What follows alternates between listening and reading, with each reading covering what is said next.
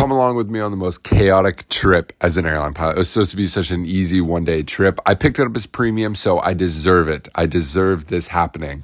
The snowstorm hit. It was supposed to be just one leg deadheading, riding as a passenger from LaGuardia down to DFW and operate back. But as we started taxing out, the schedule fell apart. The flight canceled down to DFW. So we ended up double deadheading from LaGuardia down to Charlotte, Charlotte down to DFW, and I ran out of duty day. So they sent us to a short overnight in New Orleans. Haven't been there in years and haven't been to an overnight in a couple months. So I thankfully was prepared and brought an overnight bag. So that's one thing that you have to be in this industry is prepared for anything to happen. So the next day was MSY up to Charlotte, stopped and got my favorite acai, so that was nice. And then one leg operating up to LaGuardia, back in New York City.